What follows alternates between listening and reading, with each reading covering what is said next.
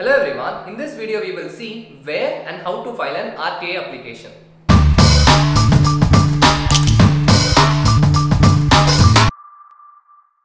RTI is to get information. RTI can be made by post or it can be made online in RTI online website.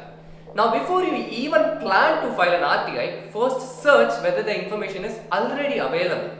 Public offices release a lot of information online. If you want to know about the document held by a particular office, try to search for it in Google like RTI manual and name of the office. Get that file and check whether you get what you want. If still you do not get it, let's move to the writing stage now.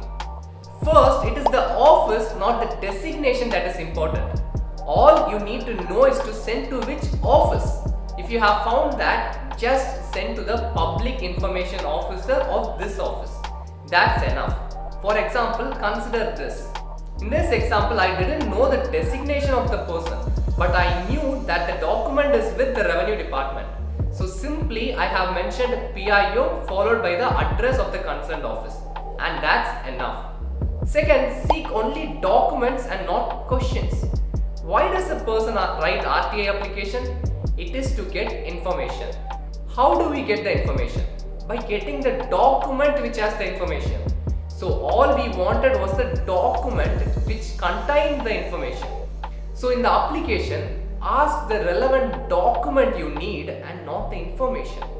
Next, don't ask questions in an RTI application. Just take this example. Is there any post vacant in the revenue department?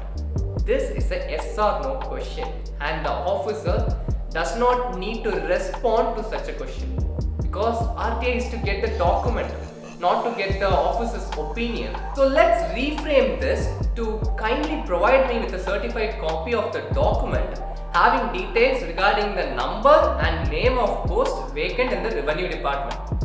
It's actually just the same thing again, but it's presented differently and presentation matters. Try to frame what you want in the best possible way because anyway you have to wait for a maximum of 30 days for the reply. So go with the best. The third rule is be precise. Someone is writing an application as such. Provide the document containing the number of farmers harvesting sesame in Veeram village. Here, the information asked is not clear because the time period is not mentioned.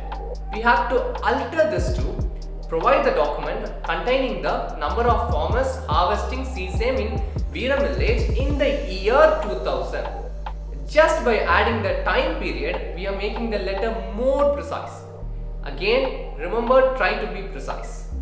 The last rule is pay properly. One must be very cautious while paying for the RTI application. One must know the form in which the concerned office accepts the fee. Usually the same format will be followed for a particular state. For say in Tamil Nadu, a court fee stamp of rupees 10 is accepted across all offices under the government of Tamil Nadu. The last rule is don't forget to put a sign and put a date on the application.